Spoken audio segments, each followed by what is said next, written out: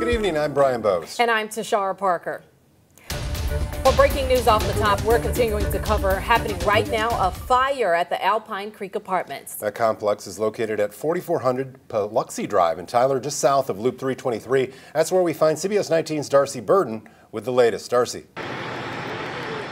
Yeah, that's right. There was a fire that broke out here earlier this afternoon, and there is still you can still actually see a little bit of smoke rising from the apartments. What they uh, what the fire marshal, deputy fire marshal says happened is that a, a possibly cooking uh, cooking equipment was left on and it sparked the fire.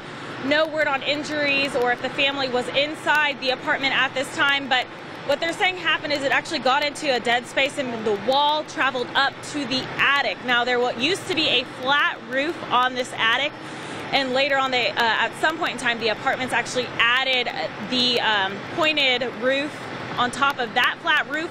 And so what they're saying is the fire actually traveled up into that dead attic space and traveled across the length of the building.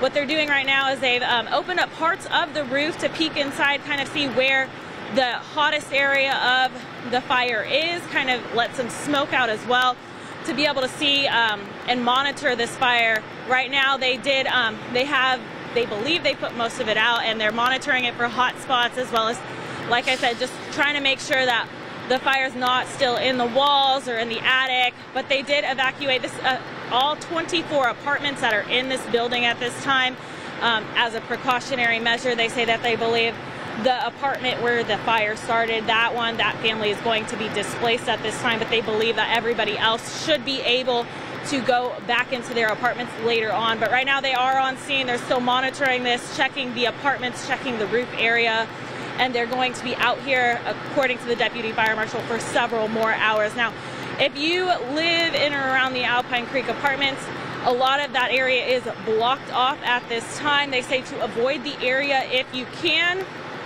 But again, we are here at the Alpine Creek apartments.